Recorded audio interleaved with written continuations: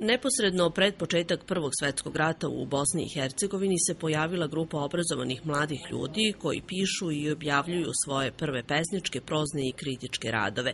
Među pripadnicima Mlade Bosne su bili i Ivo Andrić i Gavrilo Princip, koji su nama danas više poznati iz drugih oblasti delovanja, ali su tu bila i druga manje poznata, a izuzetno značajna imena.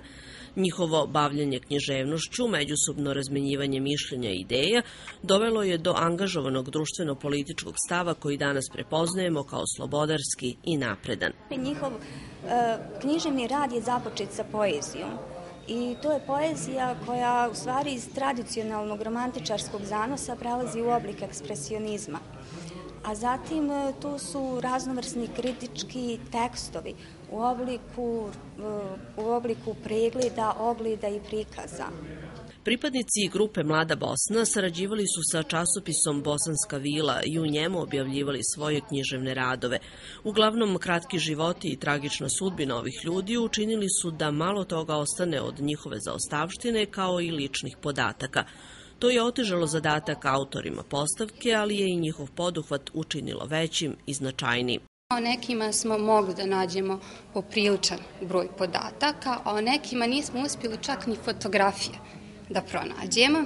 Najviše smo uspjeli naći o Dimitri Mitrinoviću, upravo Borivoju Jeftiću, Vladimiru Gaćinoviću. Literaturu smo prikupljali o od autora koji su upravo e, bavili književnim političkim prilikama koje se dešavalo početkom 20. E, vijeka.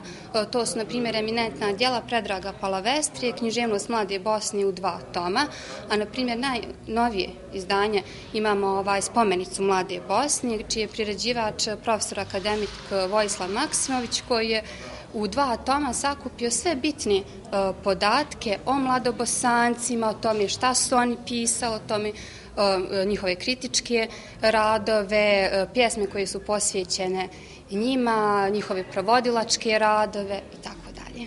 Postavka Književnost Mlade Bosne ima za cilj da osvetli dela pojedinaca koji su imali istaknuto mesto u vremenu u kome su živeli i stvarali, a koji su danas malo poznati široj javnosti.